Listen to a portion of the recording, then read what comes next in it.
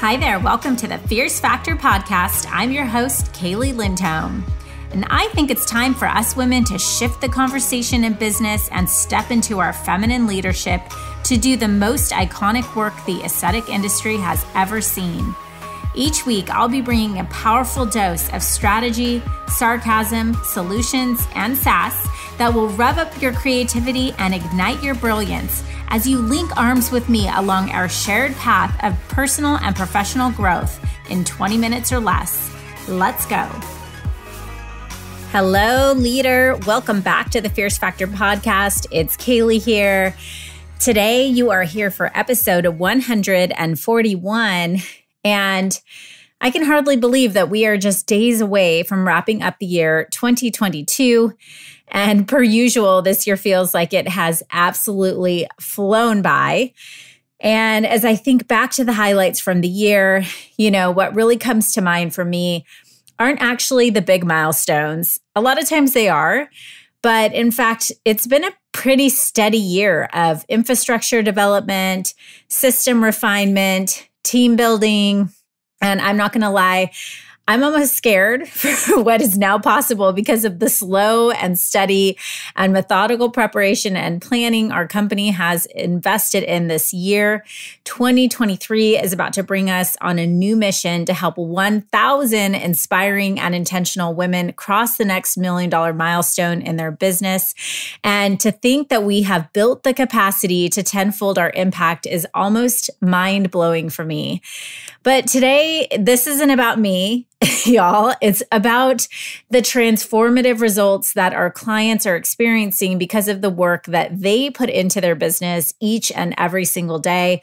And I mean, they show up every single week and commit themselves to pushing out of their comfort zone expanding their thinking and approaching their business with a mindset as if they already achieved the greatness that they have sought after and we have a saying in our company that our clients need to be ready, willing, and able to work with us because so often we'll speak with women who know they need support. They know they can't continue on the path they're on. Sometimes they can't even imagine what it would be like to look in the mirror at a calm, well rested, visionary CEO with all her ducks in a row. And although the cost of continuing as is might be a dire detriment to their livelihood, they still just don't believe it's possible for them. And I'll hear things like, once I have more time, I'll commit to your program. Or after I hire that new employee, I'll have more time. And for those of you who are routine listeners to this podcast, I may sound like a broken record here, but there is just no such thing as getting more time. I spoke about this in last week's bonus episode, the time versus money conundrum. Remember that time is a finite resource that we already have full access to what these women are actually saying is that they don't believe that making the time to develop new habits around time is going to bring as much value as using their time to directly generate more revenue. And what I mean by that is showing up to an office hour session with me does not guarantee my client will tenfold the income she generates that week. But showing up every week for 52 weeks will, with 100% certainty, create a habit of gifting herself the time to imagine, plan, and become a strategically thinking CEO. This woman will tenfold her business year after year with fewer headaches, more vacations, and more fulfillment through the entrepreneurial journey. And yes, it's hard to imagine this because it feels so foreign and unattainable when your head is buried in a million to dos. And I've been there. But it's the only way to get out of overwhelm and take control of your time and your growth path. And when I tell you this, leader, it's because I've seen it a hundred times over. It's not a wish or a pipe dream, it's the actual work that our program does. We stop chasing and we start receiving. We stop scraping and clawing for the next level and instead live in a space of sufficiency and watch the abundance flow around us. It's a whole different energy that most female entrepreneurs never experience because they aren't ready, willing, and able to do the unsexy work day in and day out to achieve this. And that's what success in the new year is really about for me and our clients. It's about ditching old habits and creating new, healthier ones that don't make earth shattering change overnight, but will set you and your business up to enjoy epic accomplishments as the months go on. So, this week, I'm going to share with you my list of the top five habits to ditch in 2023 to help you indulge in more memorable experiences, unscheduled open time, peace, love, and meaningful relationships. So, without further ado, let's dive in. Habit number one being pulled in a million different directions. Okay, so I know what you're thinking. You're like, Kaylee, this is totally me. I have so many responsibilities. I have to do most everything in my business. I don't have people around me I can trust. I'm in high demand. Everyone counts on me to get things done, and I don't want to let them or myself down. Don't think this is a habit. What if I told you this is 1000% a habit? And in fact, it's not only a habit, it's your happy place. Why do I say that? Well, what if I told you that you couldn't double check everyone else's work for a week? You had to let the business operate on autopilot. What would happen? Would everything go smoothly or would you come back to a shit show? When we don't have a strong, fluid infrastructure in place and a strong, capable team to execute, micromanaging becomes less work than cleaning up a mess later. But what's the real problem here? You're running around in a million different directions because you aren't focused on spending the time to build an independent business and team.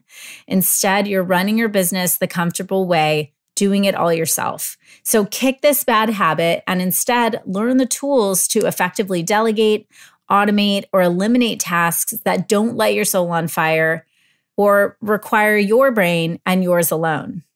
Habit number two to kick to the curb in 2023 scheduling add ons and squeeze ins.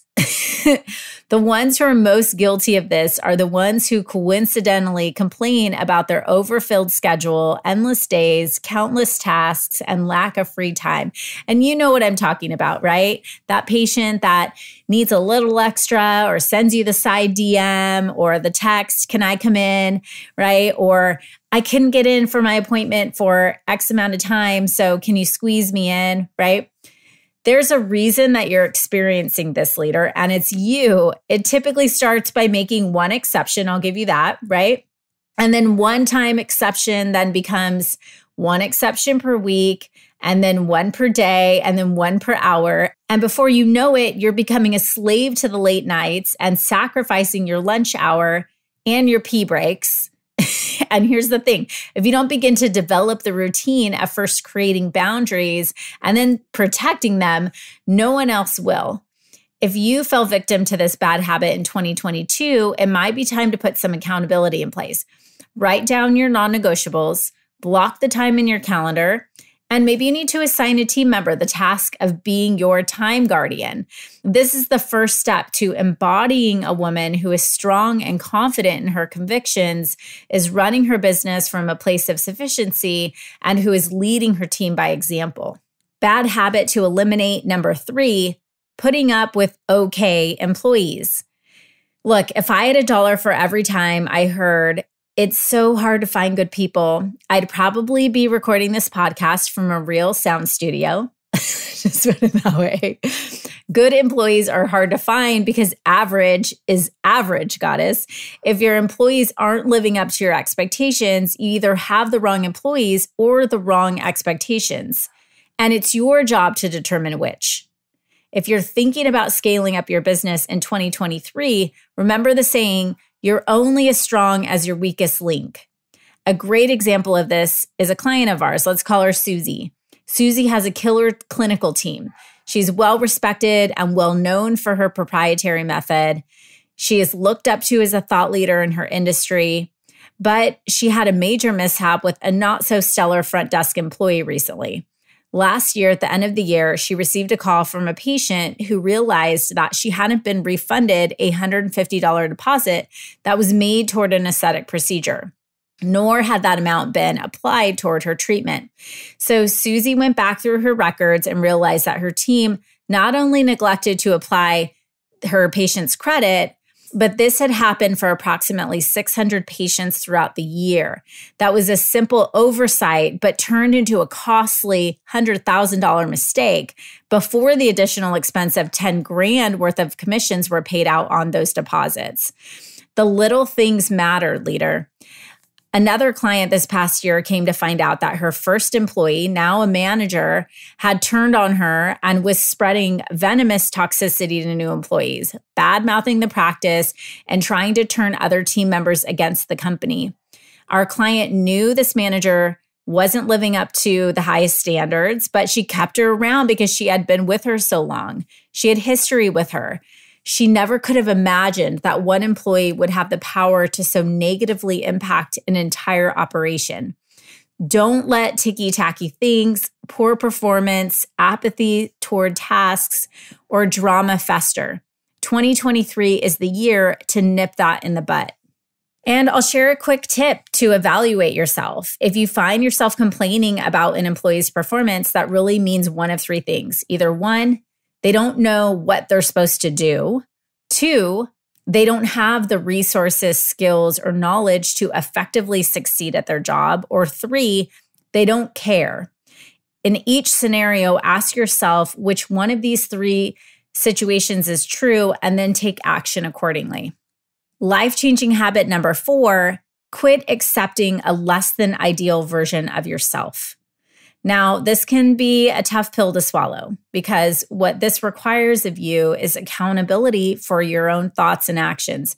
If you're like most people, you haven't slowed down for long enough to ask yourself who you really want to become.